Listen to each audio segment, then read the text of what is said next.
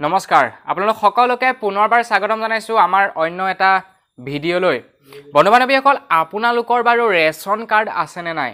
আপোনালোকৰ ঘৰৰ সদস্যৰ বাৰু ৰেচন কাৰ্ডত নাম অন্তৰ্ভুক্ত হৈ আছেনে নাই? যদিহে আপোনালোকৰ ৰেচন কাৰ্ড নাই অথবা আপোনালোকৰ সদস্যৰ ৰেচন কাৰ্ডত নাম অন্তৰ্ভুক্ত হৈ থকা নাই তেনেহ'লে আপোনালোকে ঘৰতে বহি বনাব পাৰিব এখন ৰেচন কাৰ্ড। তো যিসকলৰ নেকি ৰেচন কাৰ্ড নাই তেওঁলোকৰ বাবে এইটো এটা খুবেই ভাল খবৰ। তো আপোনালোকে কেনেকৈ ৰেচন কাৰ্ডৰ বাবে এপ্লাই কৰিব মই আজি ইয়াৰ বিষয়তে ক'ম। কি কি ডকুমেণ্টৰ প্ৰয়োজন হ'ব ইয়াৰ বিষয়ত ক'ম। গতিকে মই শ্ৰী গৈ আপোনালোকে চাই আছে টিকে মাইণ্ড। আহক আৰম্ভ কৰোঁ আজিৰ ভিডিঅ' ভিডিঅ'টো আৰম্ভ কৰাৰ আগতে আপোনালোকলৈ এটা সৰু অনুৰোধ। এতিয়ালৈকে যদি চেনেলটো ছাবস্ক্ৰাইব কৰা নাই চেনেলটো ছাবস্ক্ৰাইব কৰি ল'ব আৰু ভিডিঅ'টোত এটা লাইক কৰি দিব। লাইকৰ টাৰ্গেট ৰাখিছোঁ এহেজাৰটা। প্লিজ লাইক এটা কৰি থৈ যাব। তো বন্ধু বান্ধৱীসকল যিসকলৰ নেকি ৰেচন কাৰ্ড নাই তেওঁলোকৰ বাবে খুব এটা ভাল খবৰ। তেওঁলোকে ৰেচন কাৰ্ড এপ্লাই কৰিব পাৰিব ঘৰতে বহি। আৰু যিসকলৰ নেকি ৰেচন কাৰ্ডত নাম অন্তৰ্ভুক্ত হোৱা নাই তেওঁলোককো ৰেচন কাৰ্ডত নাম অন্তৰ্ভুক্ত কৰাব পাৰিব। আপোনাৰ ঘৰত যদি পাঁচ বছৰতকৈ ওপৰৰ বয়সৰ আপোনাৰ ঘৰত ল'ৰা ছোৱালী আছে তেওঁলোকৰ নামো ভৰাব পাৰিব। তো বন্ধু বান্ধৱীসকল সেই ৱেবছাইটটো কি? কেনেকৈ অন্তৰ্ভুক্ত কৰাব?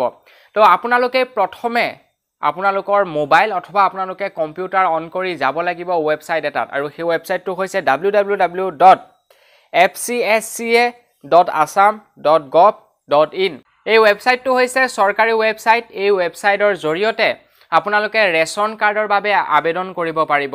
অথবা ধৰি লওক আপোনালোকৰ ঘৰত আগতে আপোনাৰ ৰেচন কাৰ্ডখন আছিলে আপোনাৰ মাৰ নামত। এতিয়া আপুনি আপোনাৰ নামত উঠাব বিচাৰিছে। তো তেনেধৰণে আপোনালোকে অনলাইন প্ৰক্ৰিয়াৰ দ্বাৰা গৈ আপোনালোকৰ ৰেচন কাৰ্ডখনৰো নাম বেলেগৰ না মানে আপোনাৰ ঘৰৰ অন্য সদস্যৰ নামত উঠাব পাৰিব। তো তাৰ বাবে আপোনালোকক কিছুমান ডকুমেণ্টৰ প্ৰয়োজন হ'ব। ডকুমেণ্ট হৈছে যে যদিহে কোনো এখন ঘৰৰ তেওঁলোকৰ বছৰি আয় এক লাখ টকাতকৈ কম হয় তেতিয়াহে ৰেচন কাৰ্ডৰ বাবে আপলাই এপ্লাই কৰিব পাৰিব।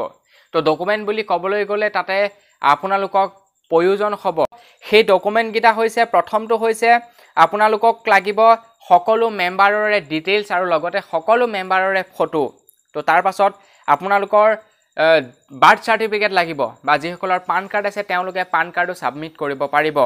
আৰু ইয়াৰ উপ- উপৰিও লাগিব আপোনালোকক ইনকম টেক্স ফাইলৰ যদি আপোনালোকৰ আছে সেইটো দিলেও হ'ব বা আপোনালোকে মাটি খাজনা ৰচিদ যদি আছে সেইটো দিলেও হ'ব বা আপোনালোকে ইনকম চাৰ্টিফিকেট দিলেও হ'ব। এইকেইটা ডকুমেণ্টৰ আপোনালোকক প্ৰয়োজন হ'ব। তো তাৰ পাছত আপোনালোকক প্ৰয়োজন হ'ব এড্ৰেছ প্ৰুফ হিচাপে ডকুমেণ্ট আৰু লগতে আপোনালোকক গাঁও বুঢ়াৰ প্ৰমাণ পত্ৰৰো প্ৰয়োজন হ'ব। এইকেইটা ডকুমেণ্ট লৈ আপোনালোকে এপ্লাই কৰিব পাৰে অনলাইন যোগেৰে। কিন্তু বন্ধু বান্ধৱীসকল এইখিনিতে এটা সৰু চৰ্ত জড়িত হৈ আছে।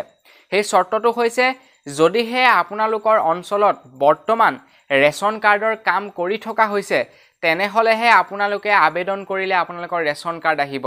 যদি আপোনালোকৰ অঞ্চলত বৰ্তমান ৰেচন কাৰ্ডৰ আপ টু ডেট অথবা নতুন ৰেচন কাৰ্ড বনোৱা হৈ থকা নাই তেনেহ'লে আপোনালোকে কিন্তু এতিয়া এপ্লাই কৰিলেও আপোনালোকৰ ৰেচন কাৰ্ড এতিয়া নাহিব।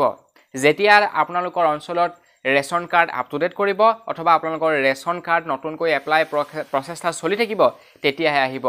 আৰু মই জনাত বৰ্তমান আমাৰ অসমৰ সকলোবোৰ অঞ্চলতে ৰেচন কাৰ্ডৰ বৰ্তমান নিউ এপ্লাই লগতে ৰেচন কাৰ্ডৰ আপ টু ডেট আৰু অন্যহাতে যিসকলে নেকি ডুপ্লিকেট ৰেচন কাৰ্ড ব্যৱহাৰ কৰি আছে তেওঁলোকৰ ৰেচন কাৰ্ডসমূহ কাটি থকা হৈছে। গতিকে আপোনালোকেও কৰিব পাৰিব যদিহে অসমত বাস কৰে এপ্লাই তো বন্ধু বান্ধৱীসকল এতিয়াই আপোনালোকে এপ্লাই কৰি থওক। তো আপোনালোকৰ যদিহে ৰেচন কাৰ্ড নাই কিন্তু মনত ৰাখিব যদিহে আপোনালোকৰ ঘৰৰ বছৰি আয় এক লাখ টকাতকৈ কম হয় তেতিয়াহে কিন্তু আবেদন কৰিব। যদি আপোনালোকৰ বছৰি এক লাখতকৈ ওপৰৰ হয় আৰু আপোনালোকে যদি আবেদন কৰে তেনেহ'লে কিন্তু আপোনালোকে ৰেচন কাৰ্ড নাপাব। তো বন্ধুসকল বৰ্তমানত জনাবলৈ খবৰ ইমানটোৱে আছিলে। যদি ভিডিঅ'টো ভাল লাগিলে লাইক এটা কৰি থৈ যাব। চেনেলটো যদি এতিয়ালৈকে ছাবস্ক্ৰাইব কৰা নাই চেনেলটো ছাবস্ক্ৰাইব কৰি ল'ব। পুনৰ এনেধৰণৰ ভিডিঅ'ত লগ পোৱাৰ আশাৰে বৰ্তমানলৈ বিদায় মাগিছোঁ। ধন্যবাদ। জয় অসম।